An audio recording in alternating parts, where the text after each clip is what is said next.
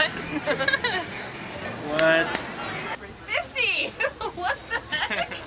Damn! Oh! Damn! What? Oh. That was trippy. That was trippy. That's all I got. Look, exactly. One, two, what? 52 cents! Look! What did you say?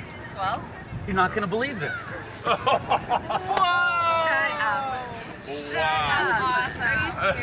Count the money into my hand.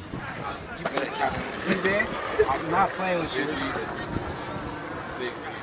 Exactly. Oh! Exactly. 89. Now, did you feel influenced in any way?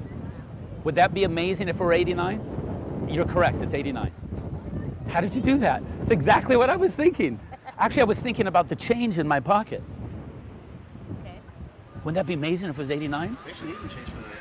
This is for the meter. This is for you. And you don't even have to look because you know it's 89. But your skeptical friend over here is probably going to want to see all the change in my pocket. No more, no less. He probably wants me to count out. You know it's 89, but look. Oh, Hold out your hand.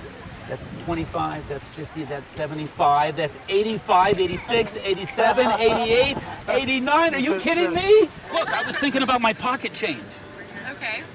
You just named a number randomly. I was thinking about all the change in my pocket.